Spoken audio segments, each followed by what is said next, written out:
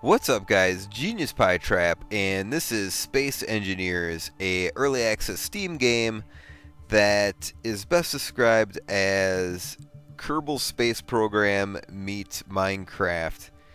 And, you know, a lot like Minecraft in space where you're building spaceships, okay? Um, I, I really like to play these games survival mode, but I'm going to just show you guys um, creative mode, just like Minecraft, because it's, you know, easier to show like, stuff that's going on here. Um, just do a quick start. Um, I like to figure out, there's a lot of videos on YouTube showing you guys how to play this game. I pretty much figured out everything on my own. I, I like to I like to do that. That's kind of like my research. I'm uh, geeky that way, I guess. But uh, I'm gonna start looking at YouTube videos because there's a lot to learn in this game. All right, here we go. You know, some of this stuff's already built. Now, obviously, if I started out in survival, none of this would be built. But we got some spaceships here. But pretty much, you start off with nothing, and the object of the game is to Actually, there is no object, which is part of my problem, but I'll, I'll touch on that later. But, uh, let's bring up our inventory here. Oop. Let's, uh, alright, let's put some tools down here. But, uh, basically, you know, like Minecraft, you want to mine, like so. And you can see we got these chunks going on here, and we can pick them up and we bring them and what you want to do is find um, ores I guess different ores and bring them to there's our nuclear reactor that's what powers everything our refinery. Now, this is equivalent to the furnace in Minecraft.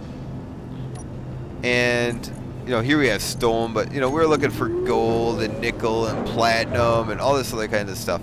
And you can fly around to different asteroids and find different minerals.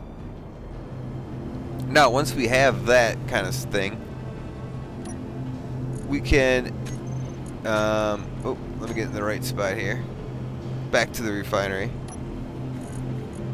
And, you know, we, we make it, we put it, make it into ingots, and then, like so put it in our assembler and here's our assembler and from there we can make all kinds of parts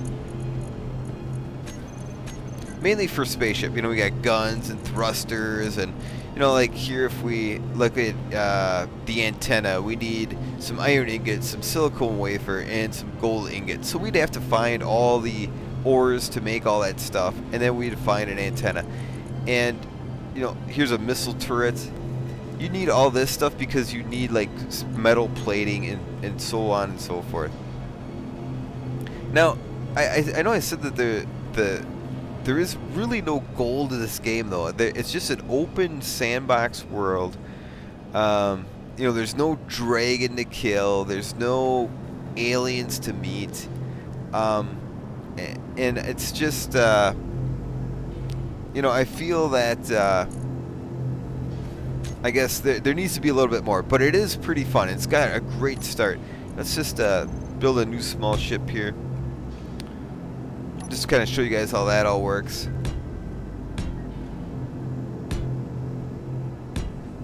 Now again, if this was survival, I would have to find all the piece, find all the ore for this, and actually get out my welder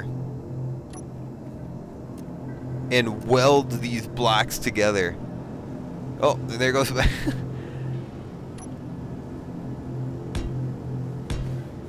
there goes there goes my spaceship. Because there's no gravity. Attaboy, genius. Alright, let's Oh my gosh. Let's let's uh let's build another one here. Let's put this one on the ground. There we go.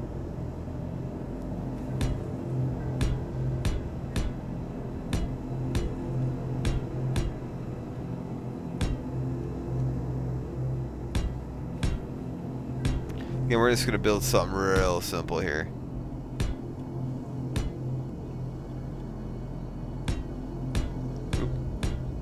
Alright, what else do we need? We need some thrusters here.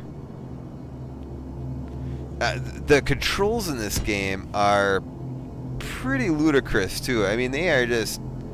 I, there's like a button for everything. There, there should be no reason you need so many buttons to do something. I mean, you know, there's it's like we're using the K button and the T button and the L button. Um, there's no reason why that stuff can't be um, mapped to the same button. You know how like uh, certain games, it's like you have a button that uh, maybe picks up something off the ground and it also opens doors and it also heals your teammate. It does multifunction things. That's what this game needs. It's every button does one thing and it's I mean, I'm used to it now, but very annoying. Alright, what else do we need? We need a cockpit. I know, I know, I said cock. Alright, um, we need a different cockpit than the one that's... There you go. This one we need.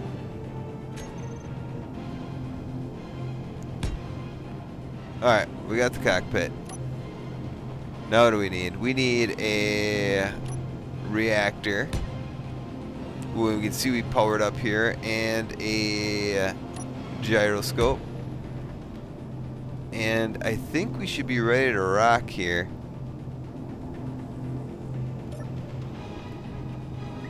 Um, okay, let's uh, need our landing gear. We need to unlock our landing gear. Our landing gear was locked to our base here.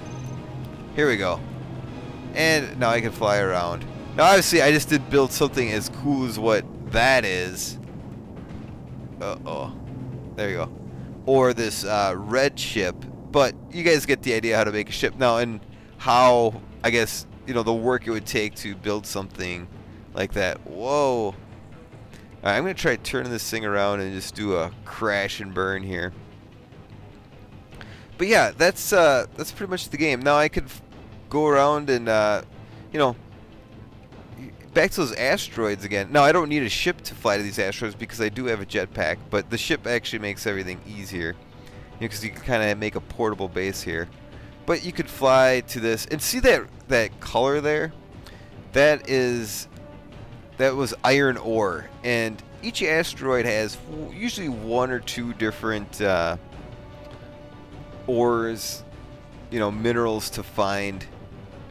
And you want to drill them, collect them, bring them back to your base, refine them, and create, create, create.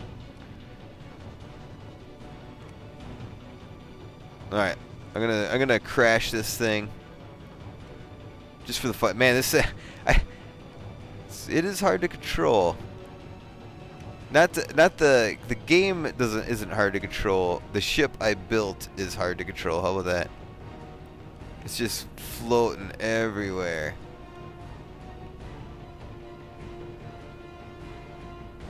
Oh my god. I am completely failing at crashing, guys. The funny thing is, when I don't want to crash, that is when I'm wrecking shit left and right. Oh, it so made me so mad. And then, like, okay, check this out. Like, you can just get out of your spaceship, right? And, oh, let me turn on that. So, okay. Oh, oh, I want to jump back on. There, and, like, you know, there's no gravity. So, like, there goes my spaceship.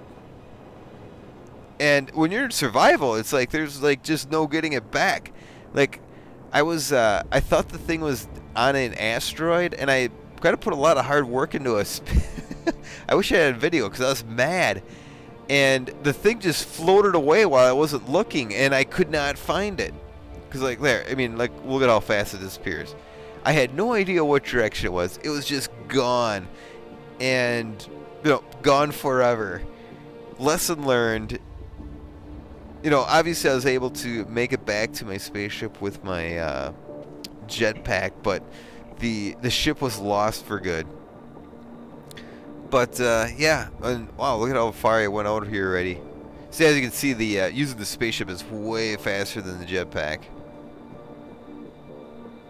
But you know, I'm to leave it there, guys. Um, check it out. Great game. I, it's it's the start of a great game. Is it something you need to buy it now? You know, you can have a couple hours of fun. Me personally, I think if you're the right, if you really like to create, if you're the type of person that plays a game like Minecraft to create stuff, you like to build and get creative, then you can definitely build a kick-ass uh, spaceship. I like to have a little bit more objective in my game. That's why if I'm playing Minecraft or something like that, or Rust or something like that, I like the um, survival modes. And there's just not enough going on in survival mode to keep me occupied. But again, hopefully they I have faith that they're going to make this game really cool. So, I don't know. Stay tuned. Check it out. Genius Pie Trap over and out. Later. Bye. Victory. The outcome was never really in doubt. Eat my dust! Let's have a go at it! Godspeed, you magnificent bastard